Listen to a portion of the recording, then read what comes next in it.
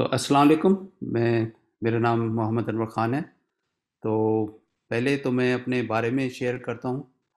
मकसद यही है कि आपके साथ शेयर करूँ कि जो सीखा है मैंने लास्ट थर्टी एट ईयर्स में as a on my career after my school बहुत कुछ सीखा और बहुत बात चीज़ें खुद से सीखी और बात चीज़ें दूसरों से सीखी। लेकिन to summarise some of the main messages that really to that w- what it takes to succeed in a startup or in any entrepreneur or any small business or large business environments i think and i thought that would be good to share with you guys as well so let's talk about myself first uh, i grew up in lahore by, by the way i was born in karachi but i grew up in lahore और लाहौर में मैंने B S C electrical engineering की you Lahore से university of engineering and technology से उसके बाद मुझे शौक था कि आगे पढ़ने का तो मैंने फिर मास्टर्स के लिए मैं यहाँ पे आया यूएस में और मैंने यूनिवर्सिटी हवाई से इलेक्ट्रिकल इंजीनियरिंग में मास्टर्स की। यूनिवर्सिटी हवाई ने बड़ी अच्छी- खूबसूरत जगह भी थी और उसके साथ साथ जो है वो had a very good school specially in satellite communication because Hawaii is an island so that really worked out well finishing uh, my master's, and uh, I was introduced to a gentleman called Bill Melton. Uh, he had uh, two, three people in his organization, and he interviewed me for a few minutes. And he said, "Khan, people they call me Khan uh, in, in the business world here in the U.S.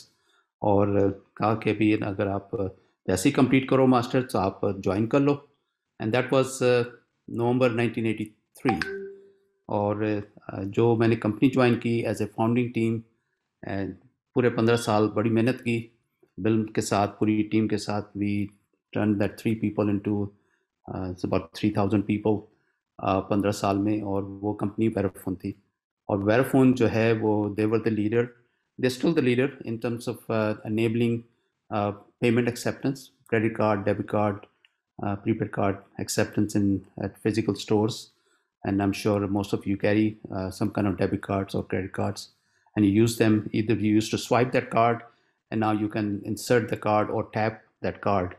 And so all of those technology uh, I've touched and uh, directly or indirectly. Uh, I'll come to that later on. After that, I just go through. After uh, finishing 15 years at Verifone, uh, Verifone was acquired by Hewlett Packard which referred as HP nowadays for 1.2 billion dollar at that time, and uh, and then uh, Verifone later on was spun out by Hewlett Packard and then was uh, uh, acquired recently by Francisco Partners for uh, 3. Point, uh, 3.4 billion dollars. So that my first startup right out of school uh, again has done wonders. Uh, not only in terms of uh, great exit in, in, in billions of dollars, uh, more importantly, they made a difference. And the difference was we enabled uh, people to pay at physical store globally with their credit card, debit cards, and we were the market leader. And uh, and during those time at Verifone, I was the head of the products as well for international. When we took Verifone from almost a zero country outside of US to almost 100 countries, and that was an excellent experience that I had acquired during that 15 years. Uh, right after the Verifone days, uh, then there was a startup uh, trend in those days of internet, and uh, uh, so Engage was one other Chinese startup which I men- didn't mention here. But more importantly, in 2001, then uh, I went came back to the payments again, uh, and basically, you know, uh, thought what should be the next thing in 2001 after I had left Verifone, and it made just uh, natural sense to me that this mobile could be a great payment device, and that was a new concept to a lot of people.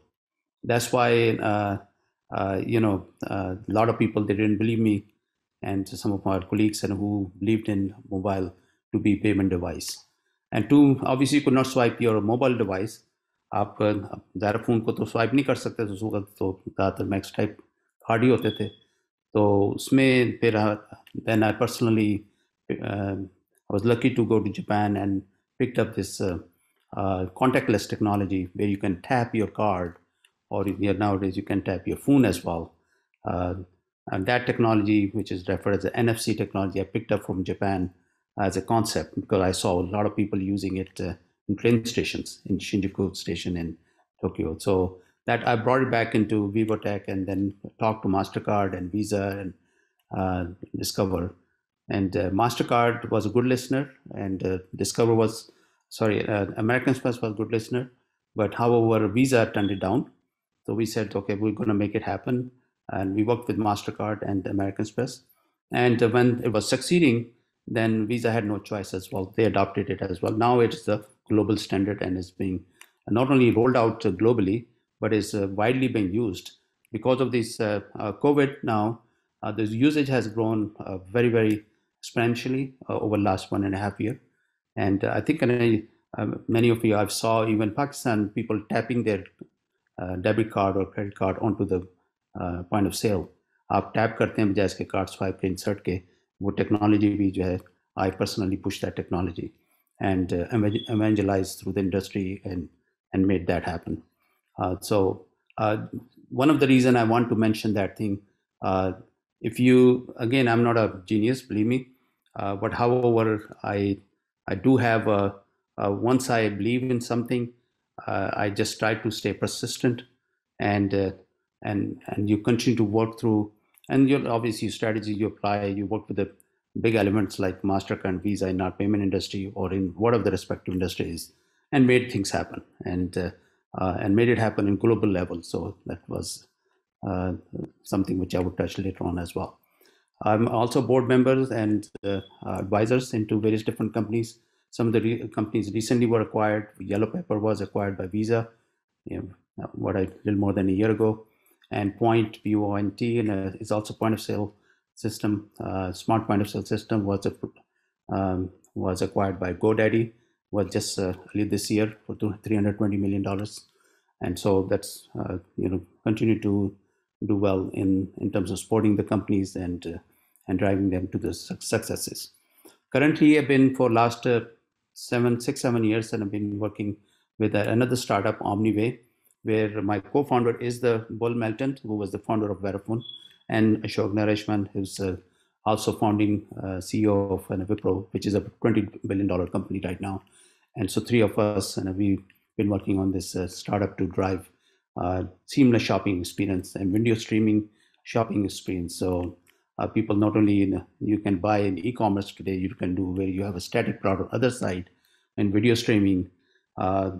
आप इंटरेक्टिवली किसी से बात कर रहे होते हैं या जो सेल्स एंड हम कहते हैं सेल्स एसोसिएट जो होता है स्टोर्स में while you're sitting safely at home, you can interact with that thing and complete the shopping experience without visiting that store physically, but you're visiting through virtually, basically. So those type of things we are doing in that regard. Uh, so if we spending, uh, you know, basically these three major startups, and the one was the Chinese startups.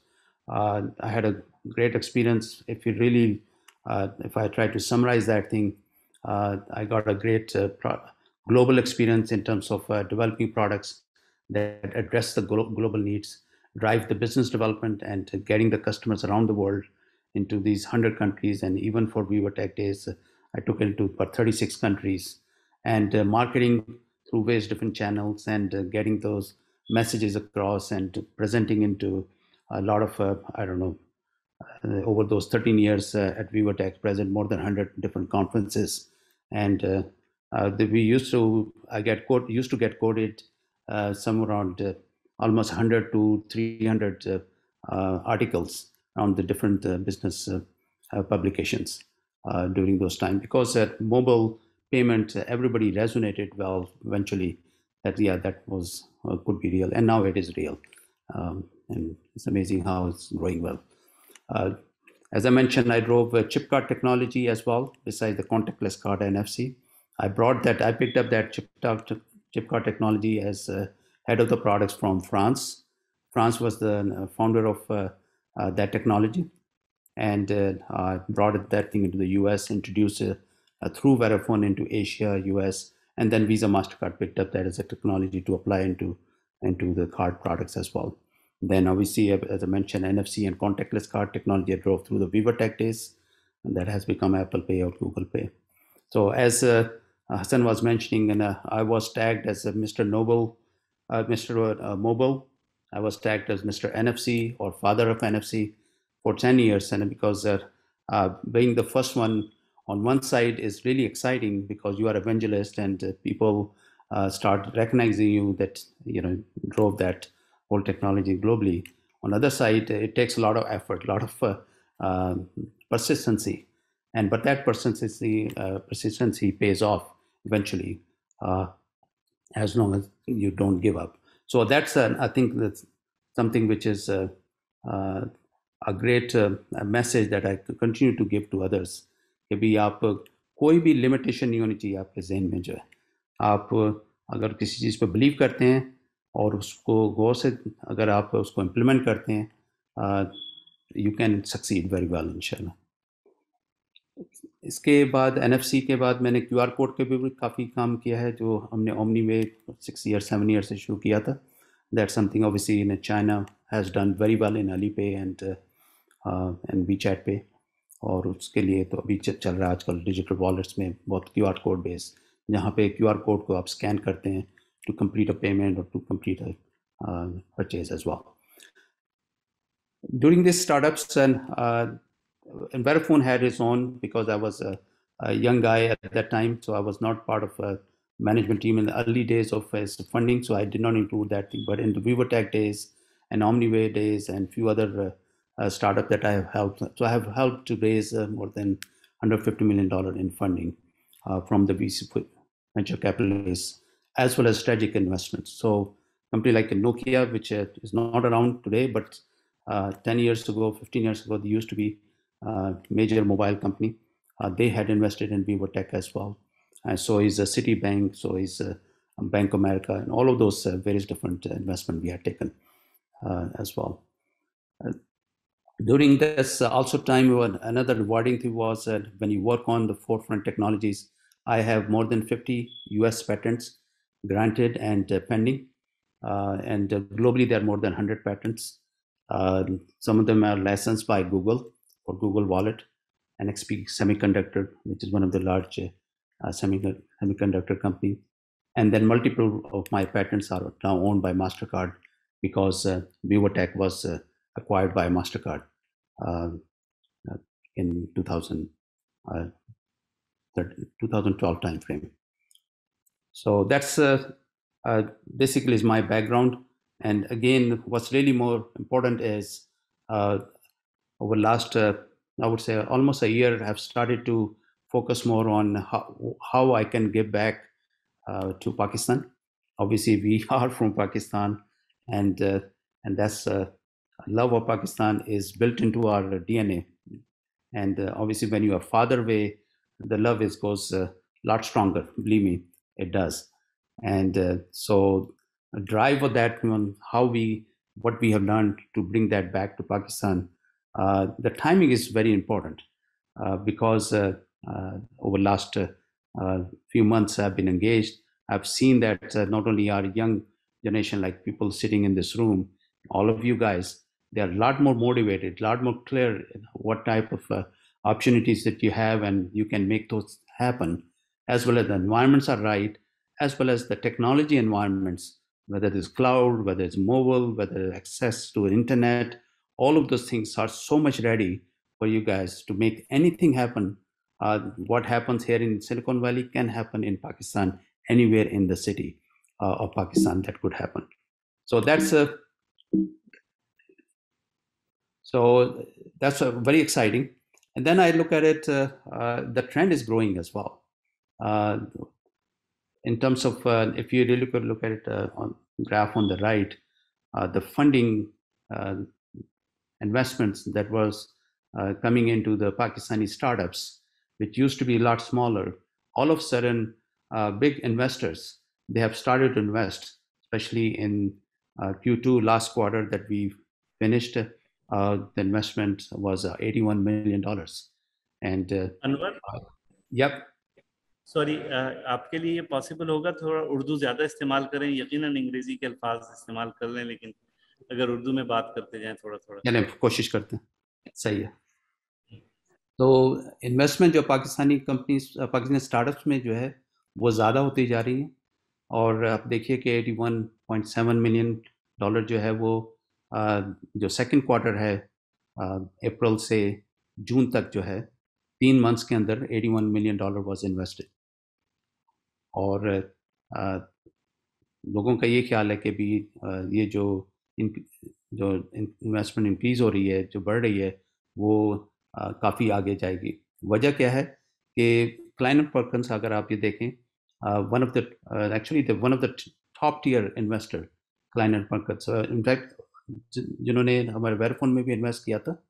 और बहुत ही थोड़ी companies में invest करते हैं, जो देखते हैं कि गेम चेंजर होंगे। उन्होंने फ़र्स्ट टाइम पाकिस्तान में इन्वेस्ट किया है, ये ताजिर के नाम पे कंपनी है पाकिस्तान में, उसमें इन्वेस्ट किया है। वॉज़ अनथिंकेबल बिफोर एंड जो कि बहुत बिल्कुल मुमकिन नहीं था, लेकिन अब अमेजिंग है कि भी कैसे पर भी पाकिस्तान में इन्वेस्ट कर रहे हैं। ऐसे ही मैट्रिक्स पार्टनर्स जिसने पॉइंट ये कंपनी तो उस जिसमें एडवाइस करता था उसमें इन्वेस्ट किया था। I don't those guys very well उन्होंने भी पाकिस्तान में इन्वेस्ट किया है। और पहले मैं उनसे यही सुनता था कि वो फॉरेन कंट्री में नहीं इन्वेस्ट करेंगे। लेकिन अपॉर्चुनिटीज़ जो है पाकिस्तान में इतनी बढ़ रही हैं कि बहुत सारे जो ये अच्छे वी जो हैं, वो इन्वेस्ट करना शुरू हो गए हैं। तो आप लोगों के लिए टाइमिंग जो है बहुत इंपॉर्टेंट है। वो यही नहीं है कि आज की बात नहीं है, ये ट्रेंड शुरू हुआ है। जब ये ट्रेंड शुरू हो जाए तो इन ये तीन से पाँच साल तो और सात साल तक आराम से ये ट्रेंड चलेगा। मैंने ये ट्रेंड शुरू होते हुए चाइना में भी देखा था, जब मैं ईयर 99 में 98 99 में और ईयर 2000 में जो है, मैं चाइना जो है वो कुछ स्टार्टअप्स के साथ एंगेज था, उस वक्त देखा था। और फिर मैंने इंडिया में देखा है ये, तकरीबन तकरीबन बारह तेरह साल पहले जो है जो इन्वेस्टर जो है, वो जो चाइना में इन्वेस्ट कर रहे थे, फिर उन्होंने इंडिया में इन्वेस्ट करना शुरू किया। और आपने देखा ही है कि इंडिया जो है, ना सिर्फ़ वो आउटसोर्सिंग में आगे गया है, वो तो गया तो सो गया, लेकिन जो स्टार्टअप्स में जो आप बहुत कामयाब हो रहा है इंडिया जो है, वो पहले नहीं था। और वो अब बहुत सारी मुख्तलिफ़ स्टार्टअप जो हैं, कामयाब हो रही हैं वहाँ से इंडिया से, जैसे चाइना से बहुत कामयाब हो। रही है इनफैक्ट चाइना में तो इतनी सारी मल्टी बिलियन डॉलर कंपनीज़ हो गई हैं जो स्टार्टअप के थ्रू शुरू हुई थी जिसमें अली पे जो है, आपने सुना होगा नाम, जिन्होंने बल्कि एक पाकिस्तानी कंपनी में भी इन्वेस्ट किया है अली पे पेमेंट्स के लिए और वी चैट पे जो है वो भी बड़ी इसी तरह बहुत सारी कंपनीज़ हैं जो कि मल्टी बिलियन डॉलर कंपनीज़ हैं चाइना में क्योंकि तो बहुत छोटी छोटी होती थी 98 99 के टाइम पर तो ऐसे ही सोचें कि आप जो छोटे छोटे जो आप इनिशिएटिव ले रहे हैं, आप लोग शुरू कर रहे हैं अपने स्टार्टअप इन अगर आप सही मैस ऑब्जेक्टिव पे हैं और सही उस पर आप एग्जीक्यूशन करते हैं, अपना विजन जो है वो इम्प्लीमेंट करते हैं तो बिल्कुल मुमकिन है कि वन ऑफ़ यू गैज और more of you guys sitting in this room may have a multi billion dollar multi billion dollar company running जो कि सर्व कर रही पाकिस्तान को भी, बल्कि बियॉन्ड पाकिस्तान को भी। हमेशा सोचिए कि बड़ा, बल्कि जो आप टेक्नोलॉजीज़ जो हैं वो ना ना सिर्फ़ एप्लीकेबल हैं पाकिस्तानियों के लिए भी बल्कि वो कई और कंट्रीज़ में भी सेम एनवायरनमेंट सेम इश्यूज़ होते हैं तो उसके लिए भी आपको सोचना अच्छा रहेगा। तो आते हैं ज़रा इसके ऊपर स्टार्टअप पे और इंटरप्रेन्योरशिप पे। जो मेरा जो रीड है, अगर आप डिक्शनरी में देखें एंटरप्रेन्योर के डेफिनेशन है, वो तो यही है कि भी कोई नया बिज़नेस शुरू करना है, जो कि रिस्क मैनेज करे और सक्सेस होना। जो मैंने समराइज करता हूँ, वो यही है कि एंटरप्रेन्योर जो होता है गुड एंटरप्रेन्योर जो है, वो रिकग्नाइज करता है अपॉर्चुनिटी को और उसको फिर एड्रेस करता है अकॉर्डिंग के भी उस अपॉर्चुनिटीज़ की मार्केट नीड्स क्या हैं, उसके जो कस्टमर उनकी रिक्वायरमेंट्स क्या हैं और अकॉर्डिंगली फिर वो उसको डेवलप करता है उसके लिए सोल्यूशन और ऐसा सोल्यूशन जो स्केलेबल हो। ऐसा नहीं कि बस सिर्फ़ एक या दो इम्प्लीमेंट कर सकें यूज़ कर सकें, वो स्केलेबल हो जो कि अक्रॉस द कंट्री और अक्रॉस द ग्लोब जो कस्टमर बेस है जो टारगेट कस्टमर बेस है वो चाहे वो बिजनेस कस्टमर्स हैं या कंज्यूमर कस्टमर्स हैं doesn't matter that they are easily able to use those, that solution. That's the kind of solution they develop. And then they find a way to sell that solution into all of the beneficiaries, all of the target customers. So I think that's that's what the uh, definition of entrepreneur is. If we really look at it, this is all achievable. अगर आपको, अगर कोई opportunity नज़र आती है तो आपको उसका सोल्यूशन भी नज़र आना शुरू हो जाता है। और जब सोल्यूशन नज़र आना शुरू होता है, उसको अगर स्केलेबल भी बना लें और इम्प्लीमेंट करके उसको सेल करें और और ट्रैक्शन भी हो तो दस for the success for a startup in my view and many people acquire these kind of entrepreneur capabilities one one is on job job experience जैसे मैंने uh, शुरू में ही मैंने स्टार्टअप ज्वाइन किया तो शुरू से ही जो है उसका डीएनए जो है वो आ, मेरे भी डीएनए में आ गया।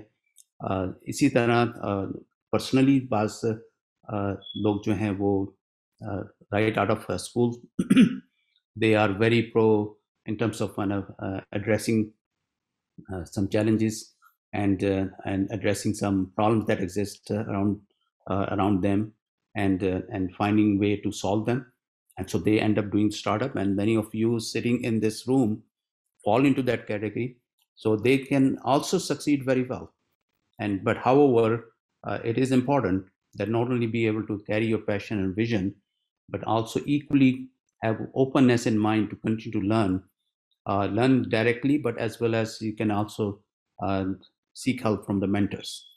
Find the good mentors who have done things before, and uh, and that's one of the reason. By the way, in Pak 100 we have we have gathered all these overseas Pakistanis with various different experiences.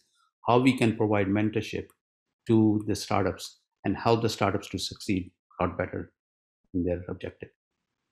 So coming to the basic ingredient of a successful startup, um, I believe that uh, leadership uh, that uh, not only comes with the confidence, but uh, once you have a good leader, uh, you have a confidence and have a vision, but you have to be focused as well. And so carrying that kind of leadership where you have a vision and then you can communicate that vision to your team is very, very important and uh, and that's uh, one of the core quality of leader is that every team member of your organization should know what your company as collectively is trying to achieve so they can contribute and they can feel they are contributed into that vision is extremely uh, critical in terms of uh, driving a success sometimes what happens is uh, uh, just a leader knows what he's trying to do and the rest of the team doesn't sink in, that would never uh, arrive to a good success. So I think that's very important. As quality of leadership is that not only they are able to see a vision, they have a focus, and they can drive, but then also they're equally capable of uh, bringing their team members and eventually their customers also into their vision as well, and and get them motivated and get them excited. So beside leadership, the passion uh, plays an extremely important role because uh, as I shared, that uh, to make things happen, sometimes it takes time, and sometimes will be ups and downs as well. So to be passionate about uh, something to make things happen, uh, that is uh, so important. Uh, obviously, that means you have to have a faith in uh, what you believe in, what vision you have, what you have communicated with other people, and at the same, we have a hundred reason I call that uh, to make things happen. Because many times people they have a hundred reasons not to do things. And you see all the time that uh, you will find a lot of naysayers but you need to be must be very opposite of that thing that you should be the uh, so optimistic that you can make things happen that uh, that your belief your faith faith will जो है वो कायम रहेगा और उस faith जो है वो आपका ड्राइव करेगा कि भी मुक्त ना सिर्फ यह कि आप 12 घंटे भी और जब 18 घंटे भी ना use to work 18 hours day जब मैं यंग था मैराथन के लिए तो आप थकते नहीं हैं, क्योंकि आप so much motivated so much driven ना सिर्फ़ आपके, बल्कि आपके टीम मेंबर्स भी जो हैं, वो मोटिवेटेड रहते हैं। इसके साथ पैशन के साथ कन्विक्शन होना बहुत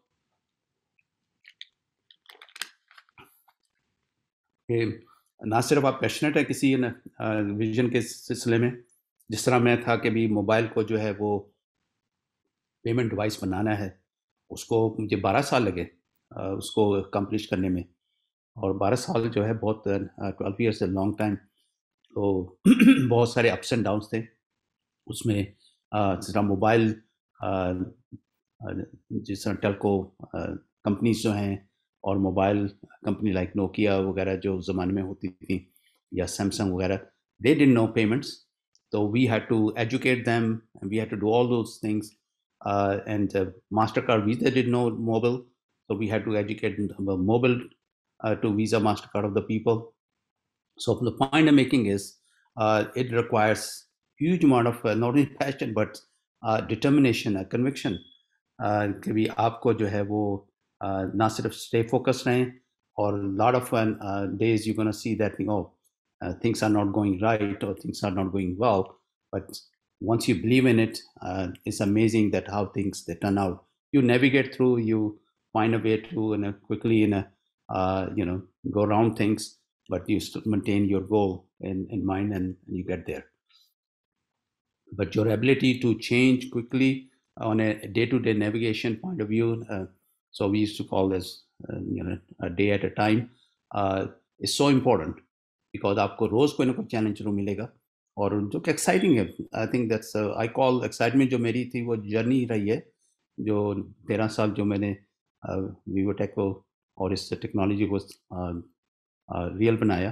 तो वो जो जर्नी जो है ना यही रोज़ के चैलेंजेस आना। अगर हर चीज़ स्मूथली जारी है तो फिर तो बोरिंग है ना।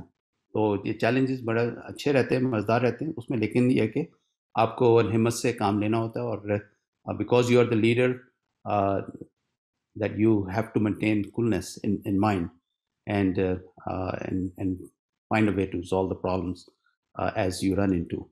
So being resourceful, a problem solver by nature or drive in that direction and staying cool so that your team, uh, they may be uh, feeling a little down, so they they get morale up because they see the leader is uh, is maintaining a clear vision and, and clear um, uh, in, in terms of emotionally positive and then when you are emotionally positive then you can solve the problems a lot more easily if you get a lot more stressed out then your thinking is not clear और आपकी clarity of thinking नहीं रहती तो फिर आपको problem solve करने में बड़ा मुश्किल आता है तो ये चीज़ होना बहुत ज़रूरी लीडर के लिए और बल्कि मैनेजमेंट टीम के लिए कि वो फुल माइंड रहें और उनको सक्सेस जो है वो आसान अचीव हो सकती है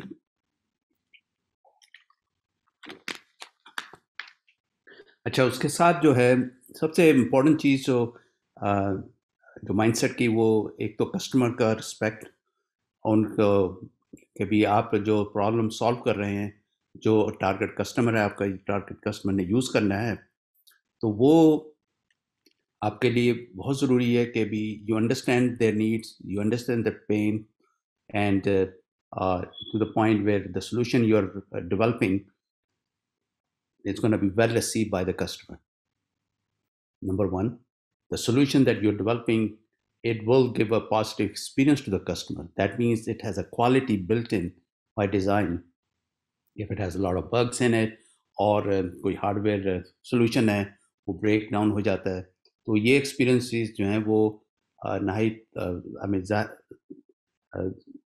they are not acceptable क्योंकि अगर आपका कस्टमर आपके ऊपर बिलीव करता है और उसका एक्सपीरियंस अच्छा नहीं है तो you gonna lose that customer so maintaining quality in uh, while developing solution maintaining quality in your uh, sport infrastructure is very very important to have a happy customer and you want to make sure your customer stays happy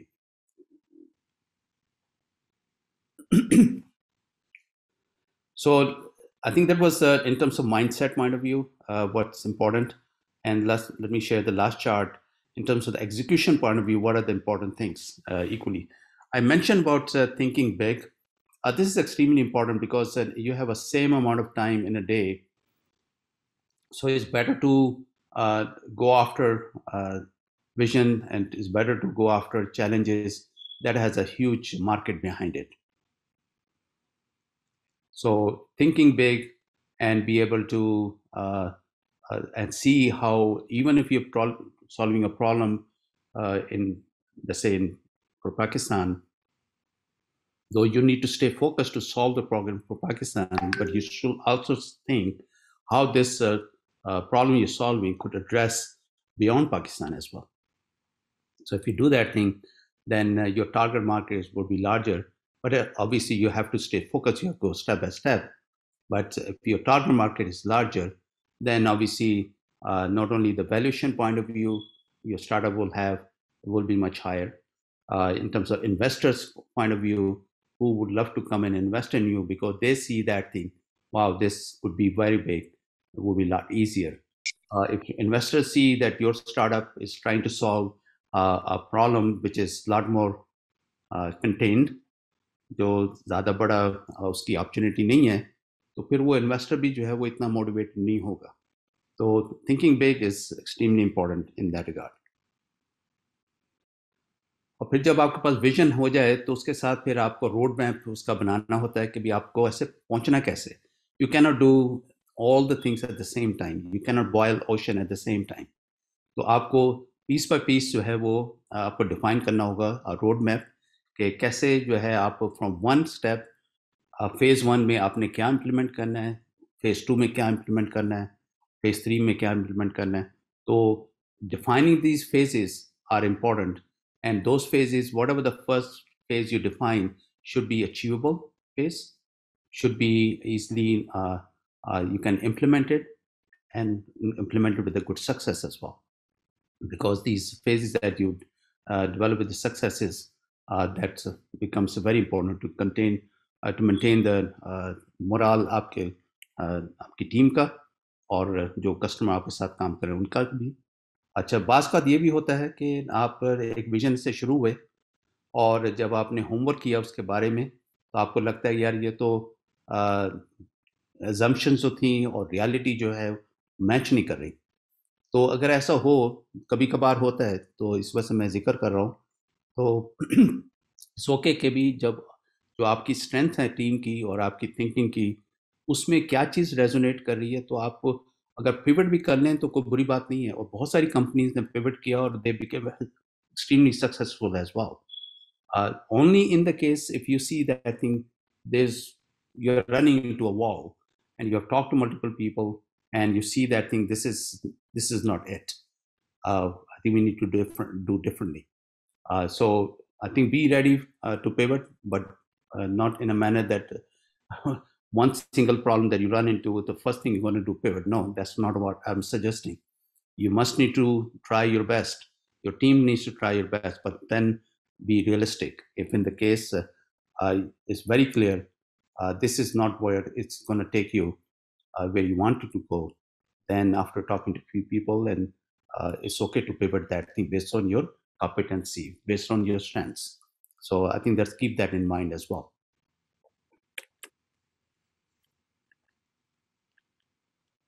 So another aspect of it जो execution में जो है वो people तो I strong I strongly believe के जो uh, कोई भी चीज़ को काम करने के लिए ना आपको सही किस्म के लोग चाहिए और सही किस्म का टाइम चाहिए और सही किस्म के लोग से मुराद ये है कि जो कि केपेबल हों जिन्होंने पहले कर चुके हों ज़ाहिर है कि पहले आप जो कि टीम जो विजनरी जो हैं और may not have experience in everything but have a great vision. But having a vision is not going to turn into good execution अगर आपके पास सही लोग नहीं हैं जो कि इम्प्लीमेंट कर सकें उस विजन को तो आपको अभी बहुत ज़रूरी है कि अपनी टीम को देखें, उसमें स्ट्रेंथ्स देखें कि आपके पास मौजूद हैं उसको, आपके विजन को इम्प्लीमेंट करने के लिए फिर आप साथ में ये भी देखें आपकी वीकनेसेस क्या हैं वीकनेसेस है, उसको फिर आप एड्रेस करने की कोशिश करें। उन लोगों से जो कि उस उस फ़ंक्शन कर चुके हों पास में। अगर फ़र्ज़ करें कि आपकी टीम में टेक्नोलॉजी डेवलपमेंट चाहिए, लेकिन आपका सही टेक्नोलॉजी लीडर मौजूद नहीं है तो you need to find a good technology leader to get on board जो कि पहले सक्सेसफुली कर इम्प्लीमेंट कर चुका कर चुका है उस तरह के प्रोडक्ट्स या उससे रेलिवेंट प्रोडक्ट्स जो है। तो ये बहुत ज़रूरी है। और कोलेब्रेशन भी बहुत ज़रूरी है मैनी टाइम्स आजकल के तो बल्कि बहुत इम्पोर्टेंट हो गया कोलेबरेट करना जो अगर कोई चीज़ exists करती है uh, there's no reason for you to implement the same thing. It's better to collaborate and use that thing and get to the market faster. A good example would be, um, for example, for example, cloud. Having your uh, uh, servers uh, rather than sitting in your premises, in your office, the trend is they now sit in the cloud. That means a cloud पे जो है सारा जो आप अपने office में करते हैं तो सब कुछ हो चुका है। तो आप उसको लेवरेज ले रहे हैं, उसको लेबरेट कर रहे हैं। तो इस किस्म का जो सिंपल एग्जांपल मैं दे रहा हूँ ताकि आपको जहाँ भी नज़र आए कि भी कोई काम हो चुका है, उसको आप लेवरेज कर सकते हैं, उससे पार्टनर कर सकते हैं, आपको अप्रोच करनी चाहिए उसको जैसे कहेंगे, नहीं यार, मैं खुद ही डेवलप करूँगा। आप वो चीज़ डेवलप करें जिसमें आपकी कॉम्पिटेंसी आपकी स्ट्रेंथ इस्तेमाल हो रही है। वो चीज़ ना करें जो कि और कोई आराम से कर सकता है। उसको लेवरेज करना ज़्यादा बेहतर है।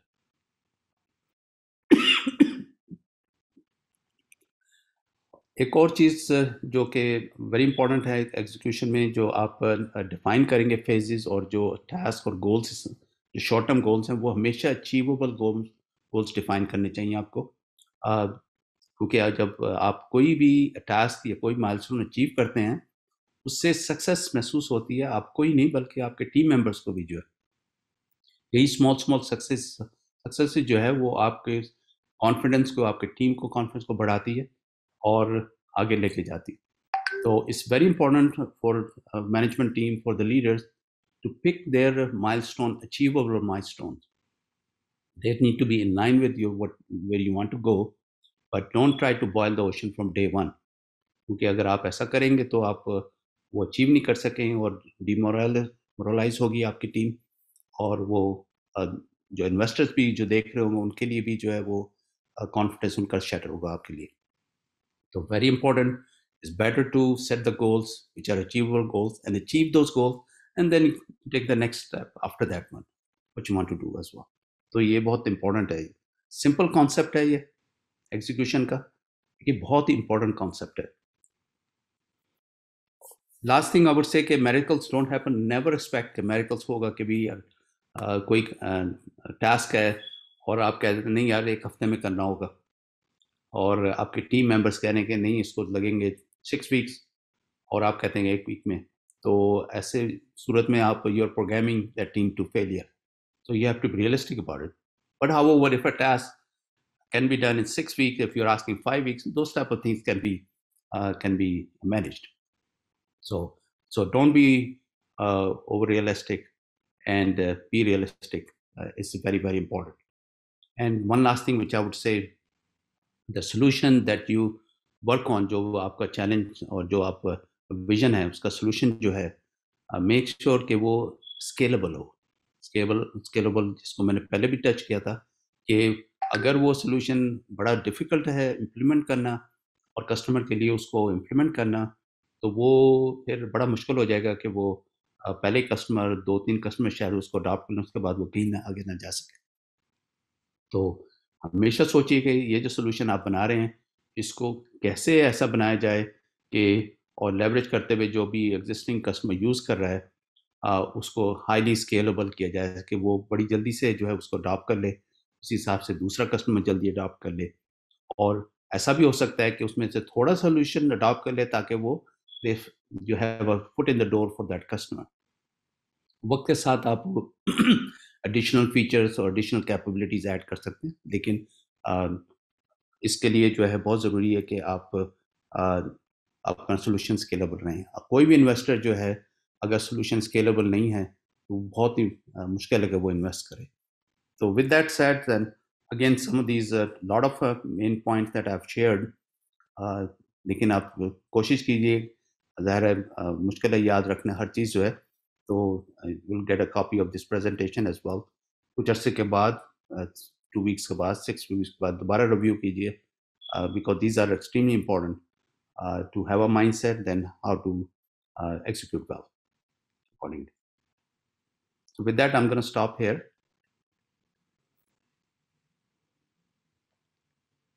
Uh, thank and you so much. Yep. And uh, I think uh, we have a choice if we should hear from uh, name first and then go into Q&A or should we go into Q&A? I think we should first? hear from name first and if that way we can combine the Q&A and we can answer either of us we can answer accordingly. क्या ख्याल है Naeem ready हैं आप मैं ready हूँ और इनशाला मैं कोशिश करूंगा कि मैं कंडेंस वर्जन कर दूं क्योंकि ऑलमोस्ट टाइम तो घंटा हो गया है तो इट वाज वेरी नॉलेजेबल तो मैं अपनी जो डिस्कशन है उसको बड़ा शॉर्ट कर देता हूँ ताकि we will leave more time for Q and if that's okay with you that's totally fine all right फिर आपका स्टेज इज़ योर जैसे मैंने आपको बताया Naeem Raza is a venture capitalist technology entrepreneur very successful set up a company went the whole uh, you know cycle and finally uh, sold the company and now a lot of his time he's spending in helping entrepreneurs pakistanis um, he care about pakistan he care about the future that um, you know we can build together so inshallah, you will hear uh, why he is doing what he is doing and you guys can then ask questions. आपने अनवर से और नईम से दोनों से जो भी आपने question पूछने ठीक है तो अपने क्वेश्चंस लिख कर रख लें अनवर से जो आपने पूछने अभी ताकि आप भूल ना जाएँ और let's hear from Naeem Naeem all yours okay जी बिस्मिल्लाहिर्रहमानिर्रहीम सो फ़र्स्ट ऑफ़ ऑल मैं कोशिश करूँगा कि मैं ऐसी डिस्कशन uh, uh, करूँ या बात करूँ क्योंकि हाई स्कूल के भी बच्चे बैठे हुए हैं तो आई मैं कोशिश करूँगा कि उसको सिंपल तरीके में बताऊँ ताकि सारों को समझ आ जाए।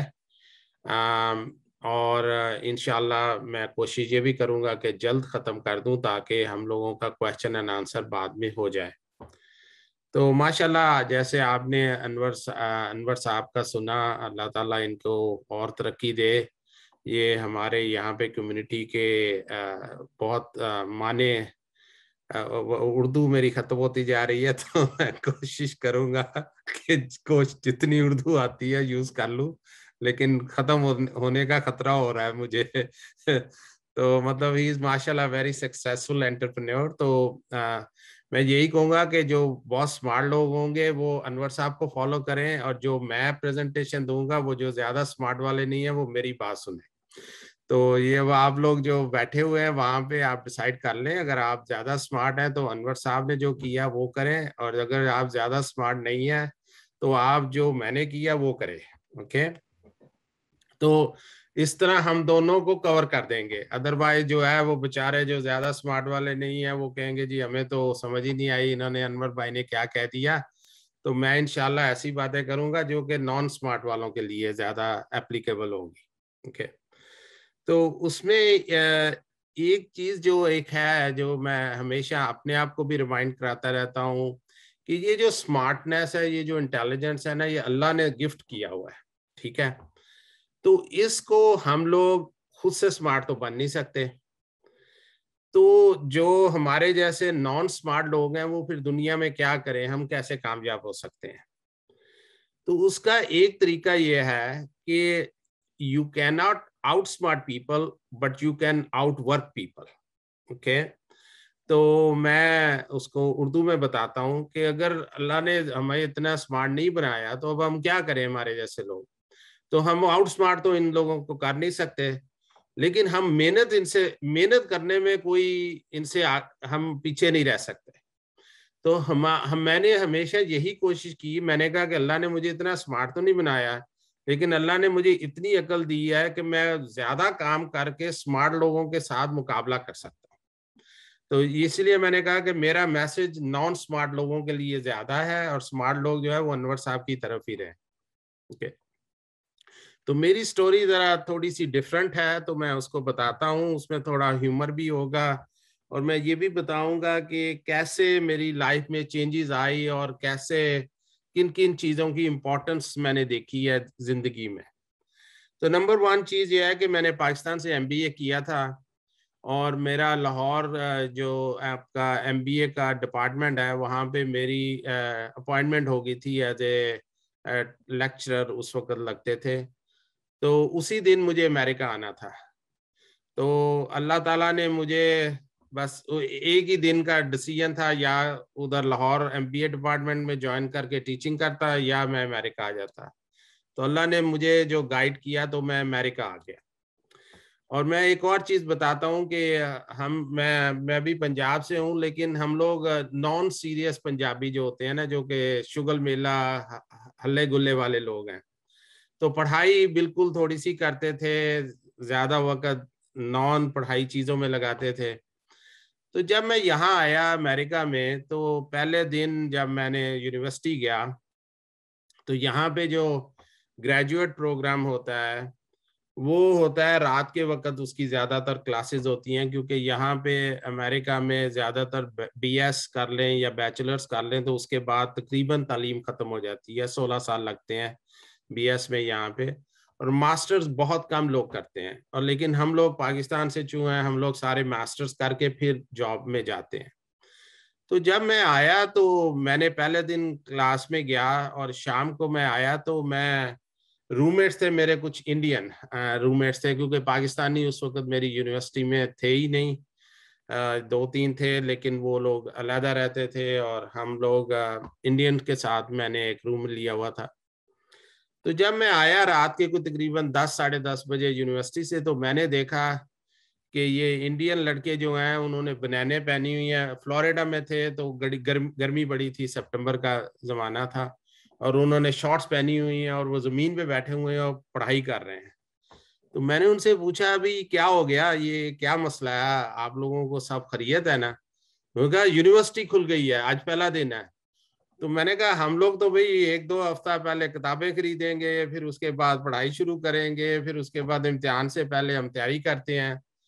तो ये तो अजीब ही चीज़ मैंने देखी है। तो उस उस दिन से मुझे समझ आई कि यहाँ पे वो पाकिस्तान वाला माइंडसेट नहीं चलेगा। यहाँ पे मेहनत करनी पड़ेगी और इस सो दैट वाज वन कहते हैं ना कि लाइफ चेंजिंग इवेंट था मेरे लिए। कि मैंने दूसरों से सीखा कि पढ़ाई कैसे करते हैं और मेहनत कैसे करते हैं। सो दैट इज़ समथिंग कि आप इस चीज़ को नोट करें कि हमें जब भी कोई चीज़ होती है, दूसरों से सीख लेनी चाहिए। दूसरी चीज़ जो थी जो अनवर भाई ने भी बताया है कि मेंटरशिप बड़ी ज़रूरी है। अब मैं पाकिस्तान से आया, मैंने मैंने एम बी ऑलरेडी किया हुआ था, मैं फिर दोबारा मैनेजमेंट का कोर्स करने अमेरिका आ गया। और मेरा एडवाइजर कहता है कि भाई भाई, तूने तो ऑलरेडी एम बी ए पढ़ लिया हुआ है, अब तू दोबारा और क्यों मैनेजमेंट पढ़ रहा है? तो मैं कहा, मुझे पता ही नहीं था क्या पढ़ना है। तो उसने मुझे कहा, तू कंप्यूटर्स पढ़। अब पाकिस्तान से मैं आया था तो मैं तो डरता था कंप्यूटर को देख के कि भाई, ये तो बड़ी जो ना डरौनी सी चीज़ है उस वक्त। आई एम टॉकिंग मैं 1980 में आया था। तो उस वक्त मुझे बड़ी डरौनी सी चीज़ लगती थी कि ये मुझे नहीं करना, मुझे डर लगता है इससे। तो खैर, मेरे एडवाइजर ने कहा, मैंने तुझे और कोई कोर्स देना ही नहीं। तूने अगर पढ़ना है तो तू कंप्यूटर पढ़ेगा, नहीं तो नहीं पढ़ेगा। तो वो फिर कहते हैं ना, मरता क्या ना करता? तो मैंने कहा, ठीक है भाई, अब नहीं है। अच्छा अब मुझे ये भी थी कि मुझे कई दफ़ा मैंने सोचा अच्छा चलो यार, वापस चलते हैं। यहाँ से पढ़ा नहीं जाना हमसे। तो फिर मुझे ये डर होता था कि घर वाले कहेंगे, दोस्त कहेंगे कि ये निकम्मा था, इससे पढ़ाई नहीं गया इसलिए वापस आ गया। तो उस कोशिश में, उस शशर पंज में मैंने फिर कंप्यूटर्स के कोर्सेज लेने शुरू कर दिए। फिर अल्लाह का एक करिश्मा ऐसा हुआ कि मुझे एक अपॉर्चुनिटी मिली कि एक मार्केटिंग का कोर्स एक जो चेयरमैन था हमारा, उसके साथ मैंने लिया।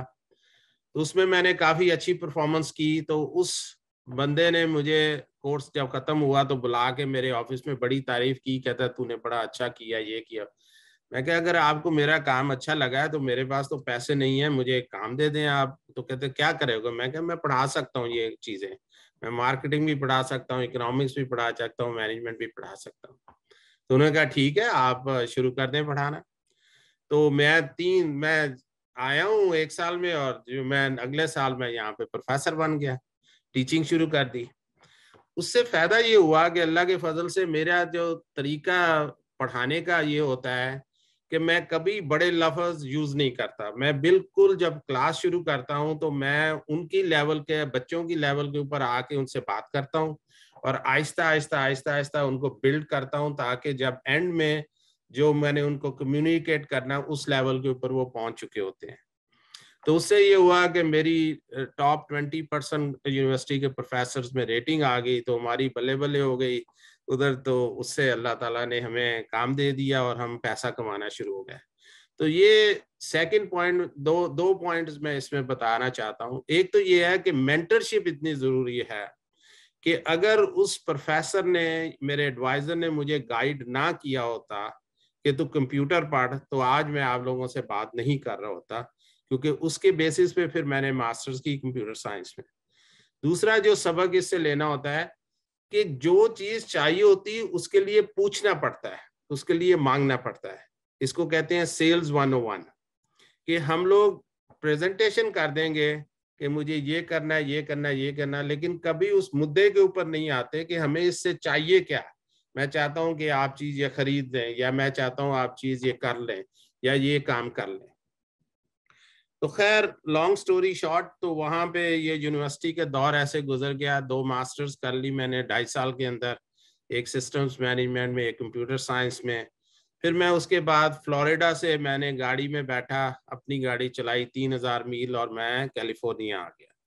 ये कैलिफ़ोर्निया, जहाँ पे बेरिया जिसको सिलिकॉन वैली कहते हैं, मैं यहाँ पे तकरीबन 38 ईयर से यहाँ पे रह रहा हूँ अठतीस साल से।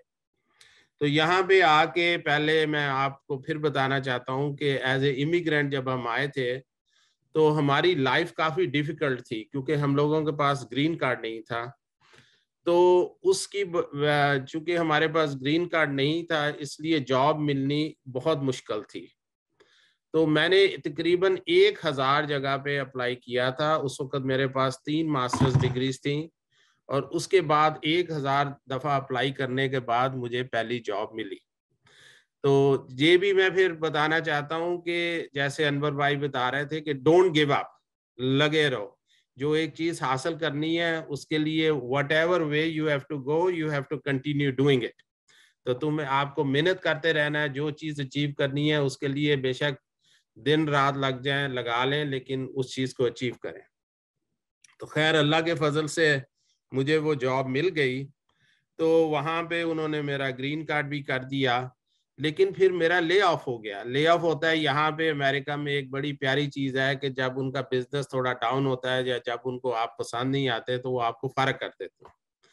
तो वो एक बंदे का बड़ा डीमोरलाइजिंग एक फ़ेज़ होता है लाइफ में और वो भी एक चीज़ अच्छी उसकी बात ये होती है कि फिर आपको ये एहसास होता है कि जब मेरे पास जॉब नहीं है तो मैं अपने आप को कितना यूजलेस फील करता हूँ। तो that was also a learning point for me in my life तो उस वक्त फिर मुझे एक कंपनी है मैकडोनल्ड डगलस में मैंने को तकरीबन दो महीने लगाए। तो अब मैकडोनल्ड डगलस वो बिक गई है, वो बन गई है बोइंग बोइंग ने खरीद ली थी। तो वहाँ पे मैंने जॉब के लिए अप्लाई किया अल्लाह के फजल से मुझे वो जॉब मिल गई। और फिर मैंने चूँकि मैं दो महीने से अनएम्प्लॉयड था मुझे पता था कि अब मुझे यहाँ पे मेहनत बहुत करनी है। तो अल्लाह के फजल से मैंने जाके वहाँ पे खूब मेहनत की और छः महीने के अंदर आ, मैंने जो वो जो सारे लोग जिन्होंने मुझे हायर किया था या जो मेरे मैनेजर थे वो सारे मेरे लिए काम करना शुरू हो गया। उन्होंने मुझे प्रमोट कर दिया उस उस कंपनी में। तो अगेन उसका मॉरल ऑफ़ द स्टोरी ये है कि आप जब एक चीज़ ठान लेते हैं कि अब मैंने आउट वर्क करना है सबको तो फिर एक तो अल्लाह आपकी मदद करेगा हर चीज़ होनी अल्लाह की तरफ़ से है। लेकिन आपने इसको इस तरीके से करना है कि फिर आपकी रिस्पेक्ट बन जाएगी, लोग आपको ट्रस्ट करना शुरू कर देंगे। फिर वहाँ से मैकडोनल्ड डगलस में मैंने कोई पाँच साल काम किया, फिर उसके बाद एक कंपनी है ओरेकल, शायद आप लोगों ने पाकिस्तान में उसका नाम सुना होगा। तो मैंने फिर ओरेकल के लिए काम शुरू कर दिया। उसमें भी एक बड़ा इंटरेस्टिंग चीज़ हुई मेरे साथ तो जब मैंने ओरेकल के लिए काम करना शुरू किया तो उस वक्त ओरेकल एक बड़ी नया प्रोडक्ट था, नई चीज़ थी और किसी को पता भी नहीं था। मुझे खुद भी नहीं पता था कि ओरेकल क्या होता है। तो जब मैं ओरेकल में ज्वाइन किया तो ओरेकल ने हमें इनिशियल ट्रेनिंग दी कि भाई, अब आपको ओरेकल ट्रेन करते हैं। तो क्लास थी उसमें, मैं भी था और ओरेकल का एज एम्प्लॉय और कुछ हमारे एक यहाँ की इलेक्ट्रिसिटी की कंपनी है, उसको पी जी एंड ई कहते हैं। तो वहाँ के लोग भी उसमें शामिल थे। तो हम लोगों ने इकट्ठे सीख रहे हैं, सब कुछ कर रहे हैं। तो जब क्लास खत्म हुई तो मैंने अपने मैनेजर से कहा भी अब मैं कंसल्टेंट उन्होंने बना दिया मुझे कि जी अब ये ओरेकल का एक्सपर्ट हो गया, एक हफ़्ते की उन्होंने मुझे ट्रेनिंग दी और मुझे एक्सपर्ट क्लियर क्लियर और फिर उन्होंने कहा, तेरी असाइनमेंट जो है यहाँ पे इलेक्ट्रिक कंपनी में हमने तुझे लगा देना।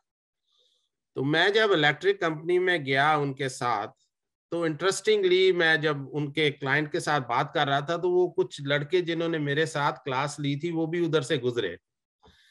तो उन्होंने मुझसे हेलो हाई किया और उन्होंने जो क्लाइंट था उससे आके पूछा कि ये क्या या यहाँ पे क्या कर रहा है? उन्होंने कहा, ये ओरेकल का सीनियर कंसल्टेंट आ गया और ये अब हम सबको ओरेकल सिखाएगा। तो उसने कहा, ये तो मेरे साथ पिछले वीक हम लोग क्लास में इकट्ठे बैठे हुए थे। तो ये कहाँ से एक्सपर्ट आ गया? तो अंदाज़ा करें उस वक्त जो ओरेकल मेरे रेट चार्ज कर रहा था वो डेढ़ सौ डॉलर घंटा था। आई एम टॉकिंग अबाउट 1989 में। तो अगर आप उसको आज के लिहाज से देखें तो वो तकरीबन 500 डॉलर घंटे के करीब, तकरीबन बनता है। तो उन्होंने कहा, ये तो बंदा तो हमारे साथ था। तो मैंने कहा हाँ मैं साथ तो था। तो मैंने अपने मैनेजर की तरफ़ देखा, उसने मुझे बाहर बुलाया, उसने कहा, मैं दो हफ़्ते देता हूँ या तो तुम लोग इसको रखोगे और उसका पूरा रेट दोगे, अगर नहीं तो मैं इसको ले जाऊँगा यहाँ से। और फिर उसने मुझे सिर्फ़ एक लफ्ज बोला, उसने कहा, सिंक और स्विम। या तो तू तर जाएगा या तू डूब जाएगा। ये कह के वो बंदा चला गया अपना मैनेजर। उसने और नहीं मेरी तरफ़ देखा। अब अल्लाह के फजल से चूँकि मैंने पाँच छह साल काम किया हुआ था तो पहला जो फ़ेज़ होता है वो सॉफ्टवेयर को डिज़ाइन करने का होता है। उसका रिक्वायरमेंट्स का होता है। तो वो मुझे बहुत अच्छा आता था। तो मैंने उससे फिर शुरू किया काम और जब मैंने चार पाँच महीने में वहाँ पे काम, उनका प्रोजेक्ट खत्म किया तो अल्लाह के फजल से उसने मुझे इतनी अच्छी रिकमेंडेशन दी कि I was again promoted as a principal consultant for Oracle उसके बाद मुझे मैनेजर बना दिया।